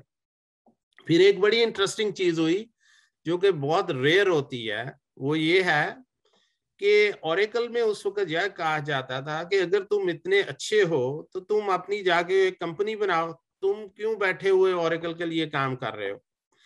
तो आप देखें कि यहाँ पे एंटरप्रेन्योरशिप को इतना बताया जाता है कि आपको इनकरेज करते हैं कि आप जाके खुद से काम करें। और ओरेकल का फ़ायदा ये था कि जो कि हम ओरेकल ट्रेन थे, हम ओरेकल के प्रोडक्ट यूज़ करेंगे, हम ओरेकल की टेक्नोलॉजी यूज़ करेंगे। तो इससे हमने जो है, फिर मैंने अपना, वो भी एक, अल्लाह ने मुझे एक वसीला बना दिया कि एक मुझे ऐसा क्लाइंट मिल गया कि जिसने मुझे वहाँ पे प्रोजेक्ट दे दिया फ़ोन कंपनी थी जो यहाँ की फ़ोन कंपनी थी। उस पर मैंने काम शुरू किया और मैंने वहाँ पे काम कर रहा था, लेकिन जो दो तीन चीज़ें मैं यहाँ पे पॉइंट बताना चाहूँगा कि इंटेग्रिटी सच बोलना और मेहनत से काम करने का वैल्यू कितनी है इस मुल्क में? तो जब मैंने दो तीन साल उन फ़ोन कंपनी के साथ काम किया अपना बिज़नेस बनाने के बाद तो वो फ़ोन कंपनी को कोई और कंपनी ने खरीद लिया। और यहाँ पे जब होता है, जब नई कंपनी खरीदती है तो जो पुरानी मैनेजमेंट होती है, उसको निकाल देते हैं। तो मेरे बहुत घबरा गया मैं कि ये भी, ये तो मेरे तो सारे जो मैंने तीन साल, चार साल लगा के अपने क्लाइंट बनाए थे सारे, वो तो सारे चले गए हैं। तो कुछ छह सात वाइस प्रेसिडेंट लेवल के लोग थे तो वो सारे निकाल दिए उन्होंने। लेकिन अल्लाह ने उसी में बरकत रखी हुई थी जो मुझे समझ नहीं थी। और वो ये हुआ कि वो जब छह सात डिफरेंट कंपनीज़ में गया तो उन लोगों ने मुझे वहाँ पे हायर कर लिया। तो अब मेरा एक क्लाइंट की बजाय मेरे छह सात क्लाइंट हो गया उसमें एडीबी भी थी कॉमर्स वन भी थी, ये भी था, वो भी था। तो देखेंगे एक क्या मैंने किया सिर्फ़? मैंने जाके मेहनत से काम किया, मैंने उनके साथ अच्छा रिलेशनशिप बनाया। उसका क्या फ़ायदा हुआ कि जब वो जहाँ जाते थे, वहाँ पे उन्होंने मुझे अपना कस्टमर बना लिया और मुझे एज ए वेंडर बना लिया और वो मेरे कस्टमर बन गए। तो इस तरह फिर दूसरी चीज़ जो मैं एक और चीज़ शेयर करूँगा और आई होप कि मैं टाइम पे I am gonna wrap it up इंशाल्लाह इन फ्यू मिनट्स तो उसमें यह है कि फिर मैंने प्रोडक्ट की साइट के ऊपर आ गया। मैंने कभी फंड रेजिंग नहीं की, मैंने कभी लोन नहीं लिया किसी से। मैंने कभी बैंक लाइन क्रेडिट भी नहीं ली। अगेन मैं वही कह रहा हूँ ना, जो नॉन स्मार्ट वाले लोग हैं ना, वो मेरी तरफ़ आ जाए। हमने खुद से ही अपने पैसों से काम कुछ कर, करा के तो अल्लाह के फजल से फिर मैंने एक प्रोडक्ट बनाया सनफ्लावर के नाम से। वो हमारा प्रोडक्ट तकरीबन यूनाइटेड स्टेट की फेडरल गवर्नमेंट का एक स्टैंडर्ड प्रोडक्ट बन गया था। अस्सी एजेंसीज में पचास एजेंसीज हमें यूज़ करती थी। हमारे हंड्रेड कस्टमर्स थे। हम लोगों ने उसको यहाँ पे स्टैनफोर्ड यूनिवर्सिटी जैसे कस्टमर्स मिले। और फिर मैंने उसको 2019 में 27 साल कंपनी चलाने के बाद उस कंपनी को एक पब्लिक कंपनी ने खरीद दिया। तो उसके बाद अब मैं वेंचर कैपिटलिस्ट बन गया हूँ, अब मैं काम कम करता हूँ, लोगों को पैसे देता हूँ और उनसे काम करवाता हूँ तो ये वीसी का काम होता है। और एक सैंडल एंजल्स होता है एंजल का काम होता है जो कम पैसे डालते हैं और वीसी का होता है जो ज़्यादा पैसे डालते हैं। सो यही दोनों में फ़र्क है और कोई फ़र्क नहीं है। तो अब हसन भाई ने मुझे कहा था कि भाई जरा बता दो कि वीसी देखता क्या है या एंजल्स देखते क्या है तो मैं दो मिनट उसके ऊपर बताऊँगा। कि सब नंबर वन जो चीज़ एज ए वीसी जो हम लोग देखते हैं ना, वो ये देखते हैं कि टीम कैसी है ओके क्योंकि टीम अगर आपकी अच्छी है तो क्योंकि हर चीज़ जो एक यहाँ पे सही है ना कि when a man plans God smiles okay तो जो आप प्लानिंग करते हैं, उसके मुताबिक चीज़ चलती नहीं है, चीज़ होती नहीं है। लेकिन अगर आपकी टीम अच्छी है ना तो वो अपने आप को पिवट करेंगे, वो अपने आप को इस तरह मोल्ड कर लेंगे कि उससे क्या होगा कि आपका वो एक काम जो है ना, एक से दूसरी जगह, दूसरी से तीसरी जगह पहुँच जाएगा। तो नंबर वन चीज़ हम टीम देखते हैं।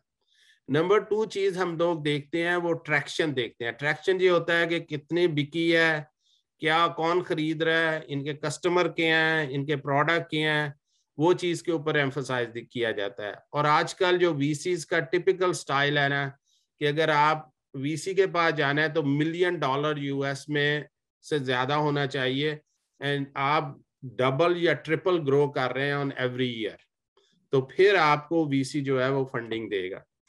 जो तीसरी चीज़ देखते हैं, वो देखते हैं कि आपकी जो है वो रेस क्या है? रेस का ये मतलब होता है आपको कितने पैसे चाहिए और आप हमें कितनी परसेंटेज कंपनी का देंगे ओके और पीछे लोगों ने, और लोगों ने कितने परसेंटेज दिया हुआ है और लोगों ने उसको कितना इन्वेस्ट किया हुआ है तो उसको उसको, उस चीज़ को एनालाइज किया जाता है। और जो लास्ट चीज़ होती है वो देखते हैं कि एग्जिट कब होगा। वो इस, ऐसी कंपनी को नहीं पैसे देते जिसने सताइस साल चलानी है और फिर बेचनी है। उनका होता है कि दो तीन साल बाद तुम लोगों ने बेच देनी है या इसको आईपीओ कर देना है, ये कर देना ताकि हमारे पैसे हमें वापस मिल जाए। तो ये चार चीज़ें जो हैं वेरी इंपॉर्टेंट हैं। अगर आपने अमेरिका वीसी अमेरिकन वीसी या अमेरिकन एंजल के पास आना है तो ये चार चीज़ें आपको एक प्लान करके लानी पड़ती हैं। तो क्योंकि इन्होंने इन्हीं चीज़ों के ऊपर उनको एम्फोसाइज करना है। With this, I think I will pause and I will let inshallah uh, the Q&A goes.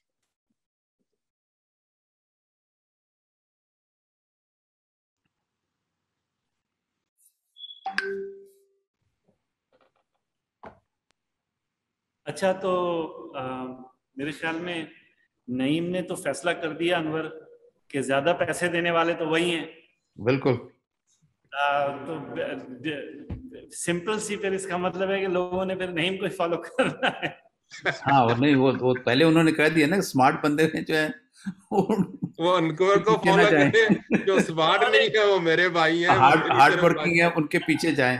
तो बिल्कुल सही कहा उन्होंने। अच्छा देखिए उन्होंने बोला ये मैं स्मार्ट स्मार्ट कुछ नहीं हूँ मैं तो मेहनती आदमी हुई हूँ लेकिन हाँ, आखिर में ऐसा छक्का मारा इन्होंने कि सब कुछ लपेट दिया। ओके अच्छा बच्चे यहाँ पे सब मुस्कुरा रहे हैं। तो अभी हम इनसे पूछते हैं इनके सवाल क्या हैं आप लोग अगर यहाँ आके आराम से इधर कुर्सी पे बैठे और अपना सवाल करें इधर माइक्रोफोन है तो यहाँ से आपकी आवाज़ जाएगी आ जाए अपना क्विकली इंट्रोडक्शन कराएँ बैठे इधर Assalamualaikum sir. Sir, I am Zubair. My question is that uh, from Sir Anwar, ke, sir, how do you build a uh, successful customer base? उसका सिंपल सा जवाब यही है कि आप, एक तो जब आपका जब कम, जब आप सोल्यूशन बना रहे हैं, जब डेवलप कर रहे हैं इस इम्पोर्टेंट के भी जब उस डेवलपमेंट साइकिल में एक या दो कस्टमर को आप शामिल कर लें। क्योंकि उससे फिर पता चलता रहेगा कि आप, की प्रोडक्ट जो है सही बन रही है, जो कि कस्टमर की नीड्स के मुताबिक है। एक तो ये बहुत ज़रूरी काम करना चाहिए। दूसरा ये है कि जब आपको एक या दो या तीन कस्टमर जो अडॉप्ट करते हैं आपके सोल्यूशन जो हैं वो आपके लिए रेफरेंस कस्टमर बन जाते हैं। उनको यूज़ करते हुए फिर आप दूसरे कस्टमर को शेयर करते हैं कि देखिए जो हमारा सोल्यूशन जो है ये काम कर रहा है और इस तरह के रिज़ल्ट उनको मिल रहे हैं। So basically then you achieve this kind of approach अब डिपेंड करता है कि क्या कस्टमर टाइप के हैं तो अगर कंज्यूमर हैं वो थोड़ा सा डिफरेंट उसका uh, तरीका होगा। लेकिन जो बिज़नेस कस्टमर है उसका बेस्ट तरीका ये है कि आप एक दो को पहले ही शामिल कर लें, उनमें थोड़ा ओनरशिप भी आ जाए कि यार ये तो हम मिल के बना रहे हैं और they will be very supportive to you the number two is the word of mouth goes on and as a reference works out very very well मैं वहाँ पे थोड़ा सा ऐड कर दूँगा, अनवर भाई ने जो कहा है उसके मुताबिक। बेसिकली ये है कि अगर आपका बिज़नेस टू बिज़नेस कर रहे हैं आप तो आप सो, सोच रहे होंगे कि मुझे समझ आए इनको क्या चीज़ चाहिए। लेकिन आपको उसी वक्त अंदाज़ा होगा जबकि एक कस्टमर अपना वक्त आपके साथ लगाने के लिए विलिंग है। कि अगर आप लेट जैसे मैं आपको एक चीज़ फ्री दे रहा हूँ और आप अपना वक्त मेरे साथ लगाने को तैयार नहीं है तो इसका मतलब है कि आपके पास जो है वो किसी काम की चीज़ नहीं है। लेकिन अगर कस्टमर कहता है कि हाँ मैं तेरा टेस्ट कर दूँगा, मैं तेरे साथ काम करूँगा, मैं तुझसे ले लूँगा, अगर ये ये ये ये चीज़ कर रहा है तो उससे आपको फ़ायदा क्या हो रहा है कि आपको रियल कस्टमर की जो नीड्स हैं, उनका पता चल रहा है। बगैर उसके आपको रियल कस्टमर्स की नीड का पता नहीं होगा। तो इस तरह से काम शुरू करते हैं और फिर जब आपने एक को कर लिया, जैसे अनवर ने कहा, फिर आप उसी सोल्यूशन को दूसरे लोगों के साथ जो कि सिमिलर बिज़नेस में है उसको बेच सकते हैं। थैंक यू सर सर नहीं मेरा एक क्वेश्चन एक, एक ही सवाल। काफ़ी सारे लोग हैं मैंने कहा कि बिल्कुल सही है। ठीक है ठीक है। अस्सलाम वालेकुम सर वालेकुम अस्सलाम। Sir I am Sarfaraz and I am from high school and in next few years I'm coming to America at uh, undergraduate uh, scholarship in John Hopkins University of Neurosurgery. MashaAllah. MashaAllah. So can you tell to me how to start business over there in America? So I would get idea. In Urdu, sir, please. Anwar आपसे पूछे पहले तो ये कि आप focus करें अगर आपको अंडर ग्रेजुएट मिल रहा है जॉन हॉपकिंस में ख़ासतौर पे मेडिसिन में तो आपको तो फोकस रहना चाहिए कि आप अपना वो कंप्लीट करें। डॉक्टर्स जो हैं यहाँ पे बहुत कमाते हैं तो हमारी हमारी तो अभी भी वाइफ कहती है कि काश तुम डॉक्टर होते। तो अब अगर वो उस पर फोकस कर रहे हैं तो फिर उसी पे फोकस रखिए ज़्यादा बेहतर है। लेकिन just to answer your question मैं तो यही अपने बच्चों को भी यही कहता हूँ कि भी कीप योर आइज़ ओपन। आप ऑब्ज़र्व करा करें कि आपके पास क्या हो रहा है। और जब आप उस अमेरिका के माहौल में आएँगे यहाँ पे, और उससे पहले भी जहाँ पे हैं आप आप ये देखें कि भी ये अगर आपको कोई प्रॉब्लम नज़र आ रहा है, कोई चैलेंजेस नज़र आ रहा है, कोई जो पेन है, मौजूद है आपको, आप उसको देखें कि यार ये इसको क्यों नहीं हल किया जाता? अगर हल हो सकता है तो कितना अच्छा होता। बहुत सारे आप छोड़ सकते हैं कि यार कोई ना कोई तो करेगा। It's not your cup of your tea लेकिन बाज ऐसे होंगे जो आप कहेंगे, यार that's a interesting idea that's interesting thought this may be I can help to solve that problem ये माइंडसेट जो है ना, ये आप अगर एक दफ़ा डेवलप कर लें तो चाहे आप उधर बाल्टीमोर में भी आ जाए जॉन जॉन हॉपकन को अटेंड भी कर रहे होंगे you may find some interesting ideas के भी जो आप एड्रेस करते हैं इवन मेडिसिन में। मैं तो समझता हूँ मेडिसिन में तो बहुत कुछ होना है काम। बहुत लोग नहीं करते, बहुत ज़्यादा क्योंकि डॉक्टर्स तो वो सिर्फ़ वही बाय बुक्स चलते हैं जो कि मेरे, मेरा भाई भी डॉक्टर है, वो हमेशा हमेशा डिस्कशन रहती है कि you don't think outside a box. तो अगर आपकी आउटसाइड बॉक्स थिंकिंग है और आपकी एजुकेशन मेडिसिन की है और आप डॉक्टर भी बन रहे हैं तो you can do a good business as well after that as well. तो आई थिंक माइंडसेट बनाना शुरू करें अभी से तो इनशाला बहुत कामयाब होगा। ऑब्ज़र्व करना और उनको प्रॉब्लम्स को ऑब्ज़र्व करना और देखना कि यार इसको सॉल्व किया जा सकता है। तो मैं भी ऐड करूँगा कि पहले तो इनशाला बोला करें जो भी काम करना है वो अल्लाह को पता है होगा या नहीं होगा। तो कभी भी बात करें तो कहें इनशाला मैं आने आने वाला हूँ। तो ताकि अल्लाह ताला आपको लेके आए।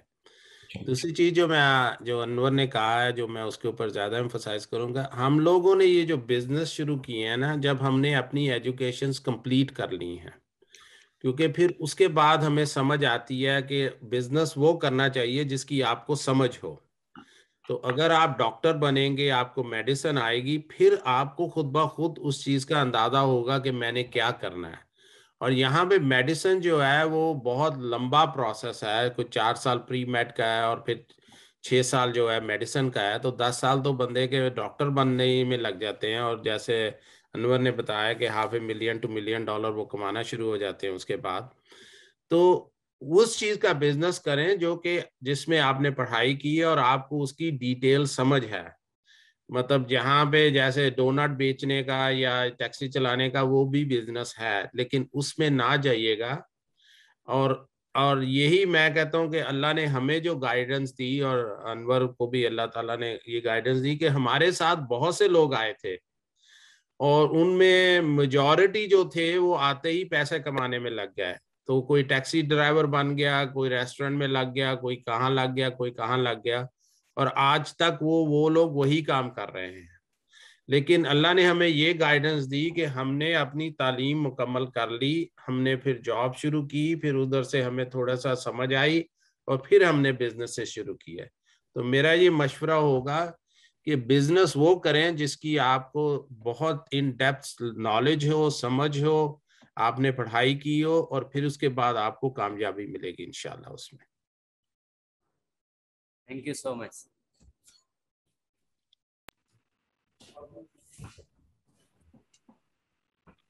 Assalamu alaikum. Thank you very much for your time, Mr. Anwar and Nadeem.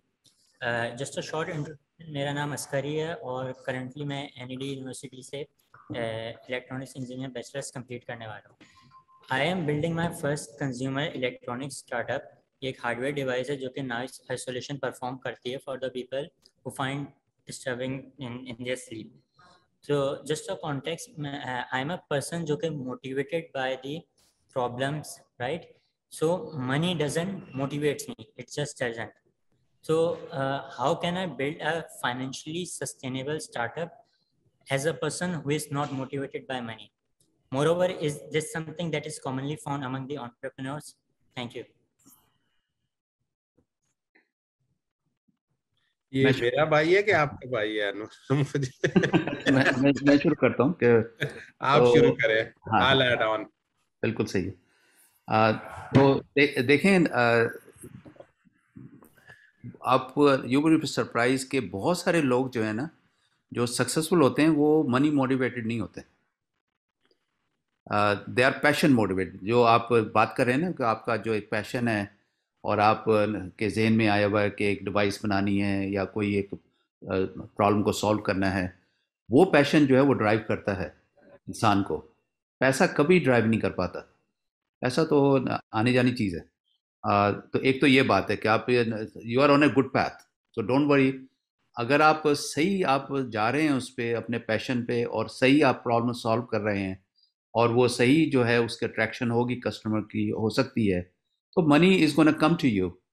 Because as as uh, Naeem Bhai was telling earlier, VCs they always look for कि भी uh, एक तो ये कि टीम कैसी है और फिर वो यही देखते हैं कि भी जो प्रोडक्ट सोचा है आपने उसकी ट्रैक्शन कैसे हो सकती है? उसकी जो है वो कस्टमर्स अडॉप्शन कैसे हो सकती है? तो इन्वेस्टमेंट जो है वो तो फिर तो आ जाती है आराम से। तो उसको आप ज़्यादा फोकस ना करें by product in my view so एक सही है यहाँ पे हम लोग जो यूज़ करते हैं, बहुत कॉमन है कि if you chase the money money will run away if you take care of your customers money will follow ठीक है? तो बेसिकली क्या है कि मनी एक बाय प्रोडक्ट है आपके अच्छे काम का। ओके? मनी, आप ये नहीं कह सकते कि मुझे पैसे दे दो। आप काम करोगे तो पैसे खुद ब खुद आपकी जेब में आ जाएँगे। ठीक है? तो आप फोकस करें कि मैं अपने कस्टमर का काम कैसे कर सकता हूँ, मैं उसको खुश कैसे कर सकता हूँ, मैं उसके लिए आउट। ये कहते हैं, यहाँ पे एक सही है गोइंग दी एक्स्ट्रा माइल कि आप उनके लिए अगर अगर सारे लोग दस घंटे काम कर रहे हैं, आपने बारह घंटे काम करके दस घंटे के उसको चार्ज किया ना तो वो याद रखेगा कि ये बंदे ने पैसे की खातर नहीं काम किया, इसने मेरा पूरा जो काम करना था उसके, उसकी सोच की। तो अगर आप ऐसे काम करेंगे तो पैसे आपको खुद ब खुद फॉलो करेंगे। They will the money will chase you and you chase the customer So you don't need to think about too much about money, and uh, which you are on your own mind. Can be you are not interested by money, so just stay focused on your passion. But make sure that uh, to accomplish your passion, you need uh, uh funds to develop your products and get those products into the market or into customer hands. तो वहाँ पे money की ज़रूरत पड़ती है तो वो खुदा खुद आएगी अगर आपका प्रोडक्ट सही है ठीक है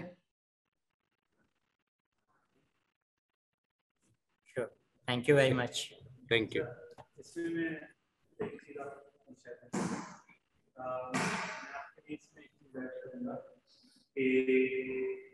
आप मुझे कैसे से मोटिवेट करना राइट दैट्स अ वेरी एक अच्छे इंटरव्यू कैसे से ज़्यादा जो प्रॉब्लम सॉल्व कर रहा है उसका passion that's totally fine at the same time don't create an activity towards money, invest in understand the importance of money, grow your business, and understand that you will need it to get to where you want to go.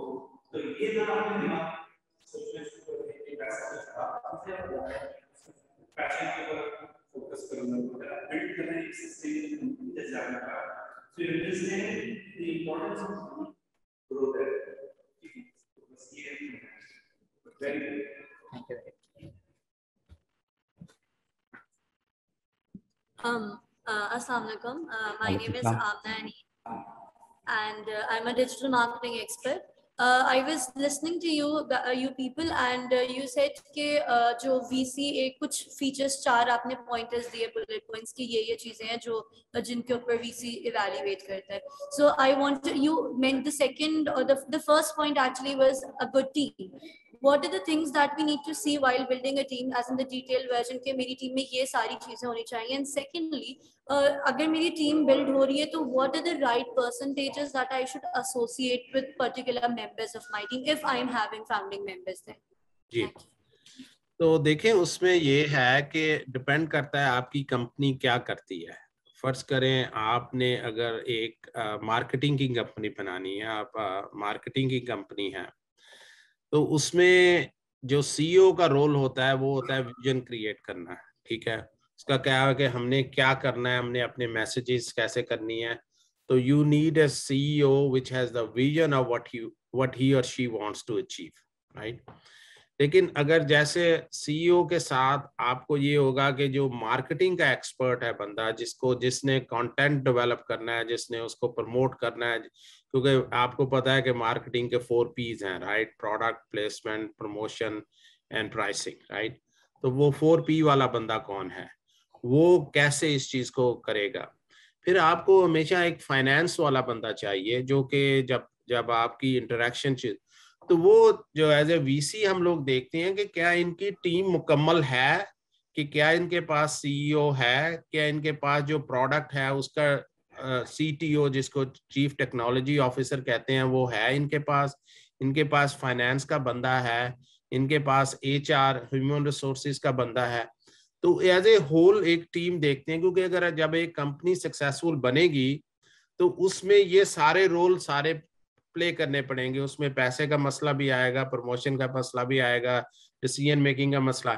तो as a whole हम लोग team को देखते हैं कि इसमें और फिर जो दो तीन चीज़ें वेरी इंपॉर्टेंट जो हैं, जो कि मुझे, जो मैंने सीखी हैं लास्ट वो ये पूछते हैं कि हाउ लॉन्ग आप लोगों ने एक दूसरे के साथ मिलके ये काम किया हुआ है? कि अगर आप इकट्ठे कॉलेज के फेलो हैं, अगर आप स्कूल के इकट्ठे हैं तो वो देखते हैं कि इनका बॉन्ड ये है बॉन्डिंग है इनकी आपस में, ये आपस में इंटरेक्ट कैसे करते हैं? ये एक दूसरे के साथ सपोर्ट कैसे करते हैं? ये एक दूसरे को बोलने देते हैं तो कि नहीं देते? तो ये चार ही चीज़ें जो है एज ए टीम हम लोग एवेलुएट करते हैं बिफोर वी से कि इसकी फंडिंग करनी चाहिए या नहीं करनी चाहिए।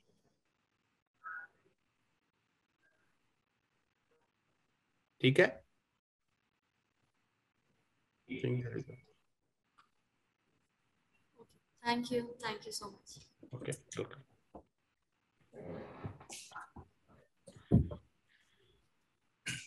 Assalamualaikum, sir. My name is Jan Alam and my startup is all about the agriculture information and supplies. But my question is how to step into the Silicon Valley because we don't have guidance to step into Silicon Valley.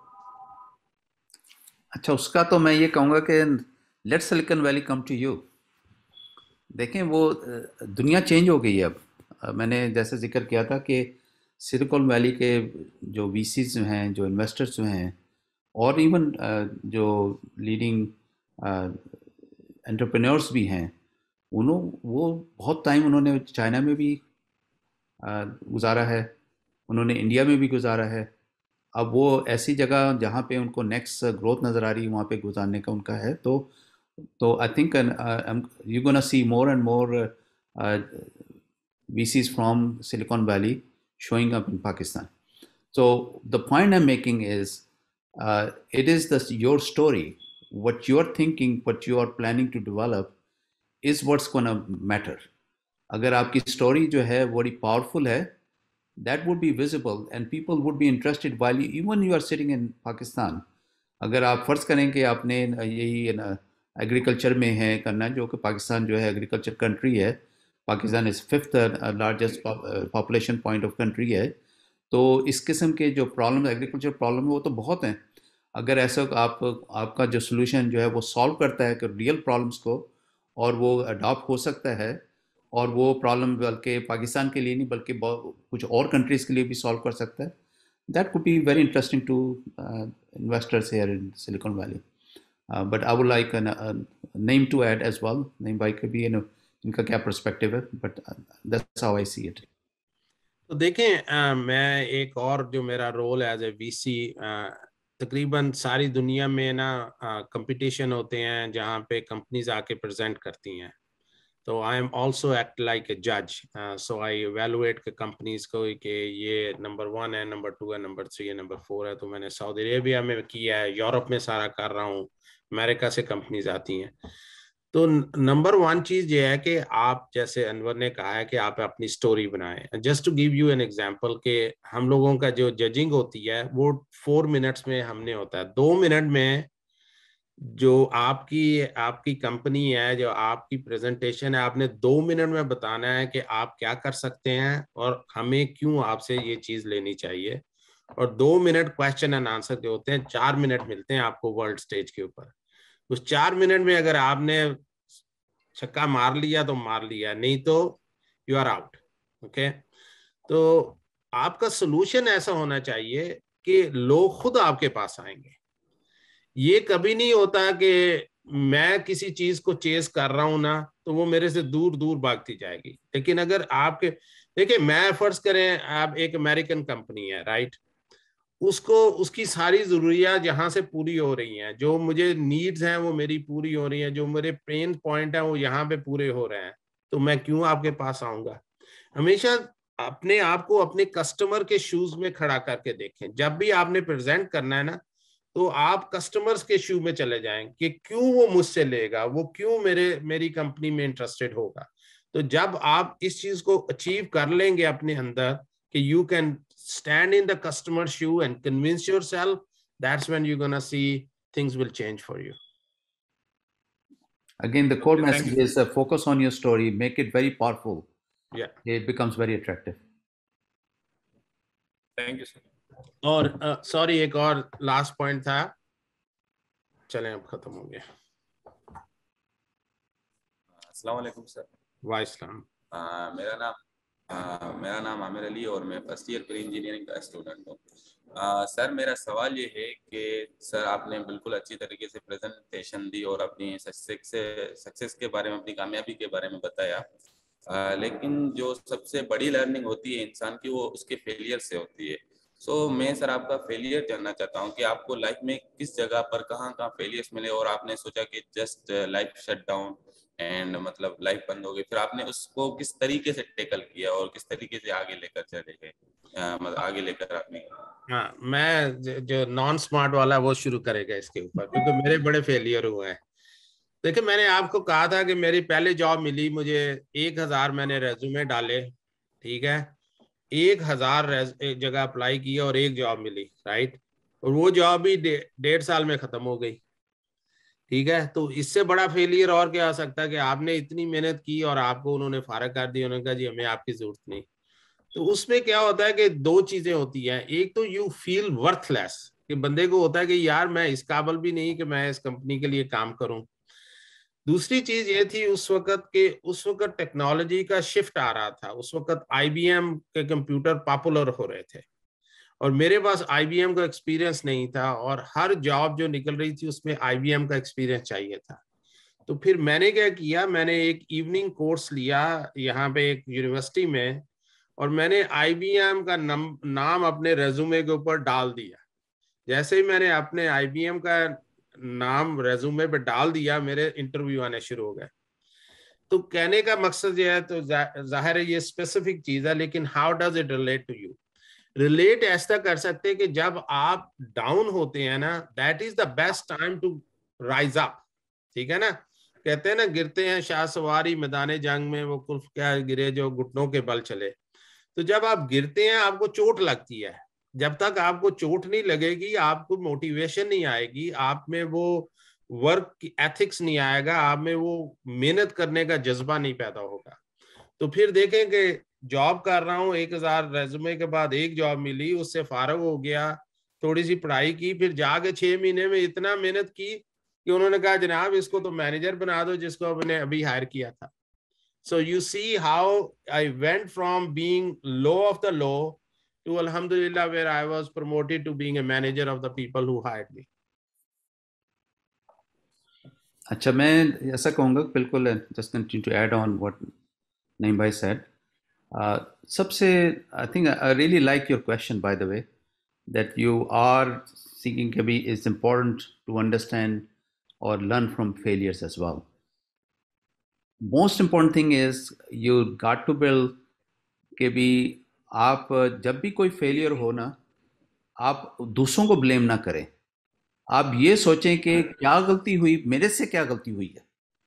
ये बहुत ज़रूरी है जो कि बहुत मुश्किल पाया जाता है। बास बात मैंने देखा है पाकिस्तान में कि हम हमेशा पॉइंट फिंगर करते हैं यार तुम्हारी गलती या किसी को जब कोई भी चीज़ होती है कि अमेरिका ने करवाया कुछ तरह के जो है ना दूसरे पे डाल देते हैं। सलाम तो अमेरिका लाता है पाकिस्तान में। हाँ तो वो तो वो वो सबसे ज़्यादा ज़रूरी है कि हर शख्स जो सुन रहा है कि जब भी कोई फेलियर महसूस हो या कोई चीज़ आपके मुताबिक ना हुई हो आप अपने आप को देखें कि क्या चीज़ मैं बेहतर कर सकता था जिससे इसके चांसेस ज़्यादा बेहतर हो सकते थे। दस नंबर वन अच्छा अब मैं ये तो कह दिया जो कि basic I had to install that concept in myself मैं जब आया हूँ तो पाकिस्तान उस वक्त नहीं था लेकिन मैंने फिर ज़ाहिर आदमी सीखता है। uh, मैं दो तीन एग्ज़ाम्पल देता हूँ। एक मेरे साथ हुआ था कि मैं प्रेजेंट कर रहा था एज ए कोई प्रोजेक्ट को और मैंने सही होमवर्क नहीं किया हुआ था उस प्रोजेक्ट के बारे में। जब वो प्रेजेंट कर रहा था तो जो ऑडियंस में जो मैनेजमेंट लीडर था he start asking me to three questions and then I follow I was fallen apart क्योंकि मुझे वो डेट्स नहीं पता था, मुझे वो डिटेल्स नहीं पता थी। तो I learn from that day कि भी कभी भी आप प्रेजेंट करें तो you need to understand exactly was going on so you can stand up for it as well जो कि बहुत ज़रूरी है कि भी आप आप जब भी प्रेजेंटेशन पे आ जाएँ तो you need to cover your bases अगर आप नहीं तैयार तो फिर एक्सक्यूज़ करना ज़्यादा बेहतर है नस्बत के आप कि, किसी सवाल का जवाब ना दे सकें। इसी तरह एक दूसरा जो वेरी इंपॉर्टेंट था कि मेरे शुरू में दो तीन साल जब मैं वेराफोन में ही जब मैं ख़ासतौर पे जब मैं गया हूँ, मैं हेड ऑफ़ प्रोडक्ट्स में तो जब भी कोई ना प्रोडक्ट अपडेट देता था डेवलपमेंट टीम जो है तो I always look at to glass half empty उस पर अप्रिशिएट नहीं करता था कि भी ना, क्या उन्होंने किया है, उस पर अप्रिशिएट करता क्या वो नहीं कर पाए। बल्कि उस पर ना ऑब्जेक्ट करता क्या नहीं कर पाए। तो वो जो नेगेटिव थिंकिंग थी वो उसको मुझे रिमूव करनी हुई, मुझे किसी ने बताया कि भाई देखो, ये आप हमेशा जो है नेगेटिव की तरफ़ जाते हो पहले, जैसे कि आप पॉजिटिव के ऊपर सोचें उसकी तारीफ़ करें फिर उसके बाद पॉइंट आउट करें। तो दूसरा भी जो एक्सेप्ट करेगा तो वो again I am just giving you example के I learn that this is that attitude I have to change and I had to work very hard because वो तो बिल्ट इन था मेरे से सालों साल से and I was maybe around 26 years of age at that time. And it took a year or two but i really changed that thing. Now i always look at the half, half glass full as compared to half glass empty. So ये uh, सीखा था हमने जब ऐसा हुआ। और इसी तरह के बहुत सारे आदमी चैलेंजेस में आता है आपको फेलियर होता है फिर आप कहते हैं नहीं यार क्या मैंने गलती की? और एक और एग्जांपल मेरे जहन में अभी आई है कि भी बाज का आप मैंने अभी अपने स्पीच में यही कहा था कि भी एक्सपेक्टेशन से ज़्यादा जो है आ, कभी भी आप किसी एक्सपेक्टेशन को नहीं करें जो अचीव ना कर सके हो। अगर ऐसा आपने गोल सेट किया है जो अचीव नहीं कर पाए या बहुत उसमें मेहनत चाहिए होगी उसके चांसेस बहुत कम है तो ऐसा गोल नहीं सेट करें। तो आ, ऐसा हुआ था मेरे साथ कि बास का तो डेट्स दे दी या एक्सपेक्टेशन सेट कर दी कि भाई यार कस्टमर जो है वो हमें साइन अप कर लेगा और कस्टमर ने साइन अप किया और बाकी लोग एक्सपेक्ट कर रहे थे। So it becomes a failure to you versus of I set के भी नहीं यार कस्टमर के चांसेस हैं कि वो शायद साइन अप कर ले। वो हो सकता है कि साइन अप ना करे। That's all I have to say तो मैं वो एक्सपेक्टेशन जो है ना वो अकॉर्डिंगली रियलिटी के साथ सेटअप कर लेता तो वो मुझे जो है वो, फेलियर महसूस नहीं होता। तो बस पॉइंट यही कहूँगा कि मेन कॉन्सेप्ट यही है कि आप you try to learn situation हर चीज़ सिचुएशन डिफरेंट होती है। जब भी होती फेलियर उसकी डायनेमिक्स डिफरेंट होते हैं। लेकिन कॉन्सेप्ट वही है कि आप देखें कि मेरे से क्या गलती हुई है और क्या चीज़ मैं बेहतर कर सकता हूँ नेक्स्ट टाइम सही है? Thank you sir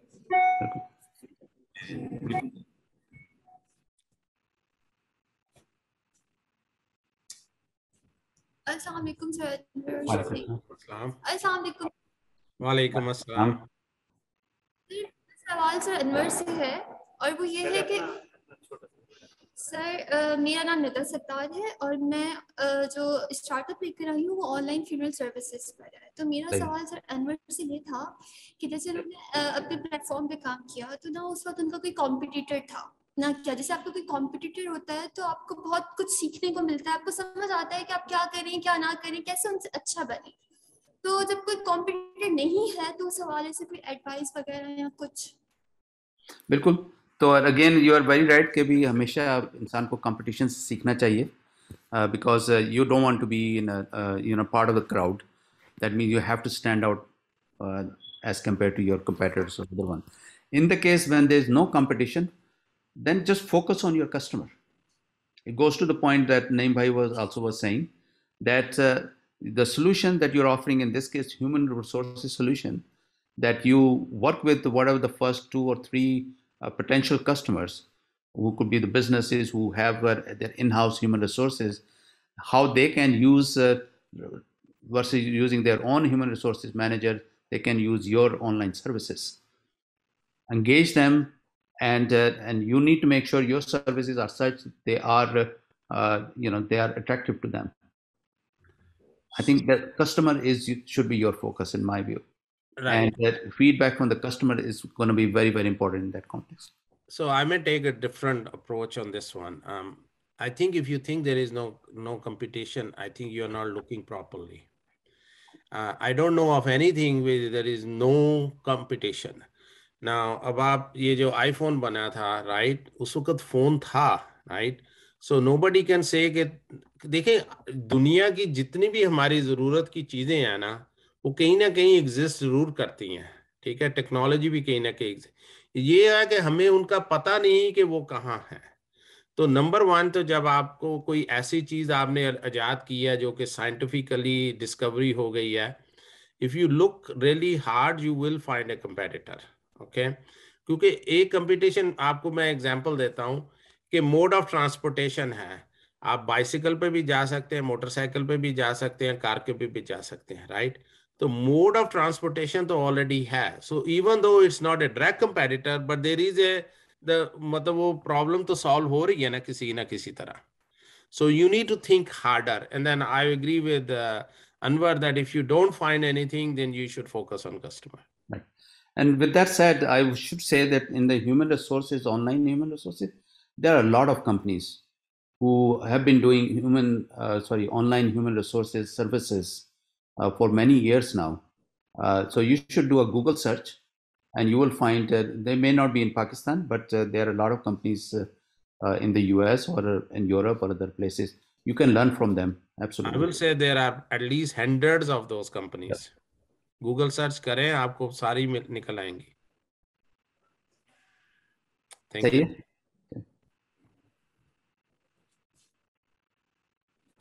Thank you, uh, Anwar and Naeem, for taking such a long time. It must be late in the evening over there. Um, so I think I, I, I would say I would say kudos to Naeem Bhai. Normally, I have not seen him awake so so late. मैं ये मैं ये जवाब जो दे रहा ना सोते हुए दे रहा हूँ अच्छा सही है नहीं बहुत शुक्रिया मुझे पता है तकरीबन मिड नाइट वहाँ पे रात के बारह बजने वाले जी तो इनशाला फिर आप लोगों से फिर बाद में कंटिन्यू करेंगे बट वेरी गुड बहुत अच्छी आपने लोगों को नॉलेज दी है they all truly appreciative of that so just a big hand for our Great. Thank you very much, audience. Allah Hafiz. Allah Hafiz. Allah Hafiz. Allah Hafiz. Allah Hafiz.